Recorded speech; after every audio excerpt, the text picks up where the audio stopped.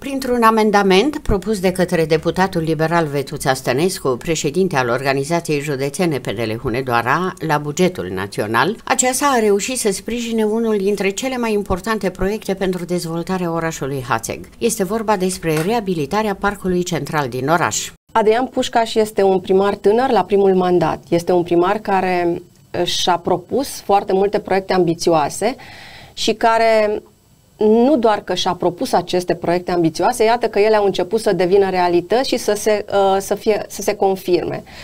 Și am să vă spun acum de câteva proiecte pe care le-a depus pe Angel Salini legate de drumurile, de reabilitarea uh, drumurilor din uh, uh, Hațeg. Are proiecte pe Angel Salini.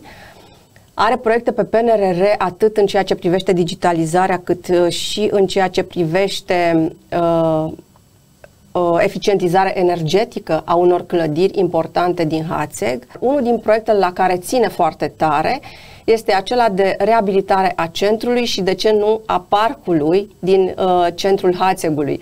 Eu am făcut liceul acolo și am crescut în Hațeg și știu ce înseamnă parcul central pentru Hațeg și pentru Hațegan și, de ce nu, pentru întreaga zonă din jurul Hațegului. Uh, printr-un amendament pe care l-am propus la bugetul național, acum când s-a aprobat bugetul, uh, în luna decembrie pentru anul 2023, am dobândit pentru Hațeg 800.000 de lei tocmai pentru reabilitarea parcului central. Acești bani au venit cu destinație precisă în bugetul Hațegului pentru reabilitarea acestui parc.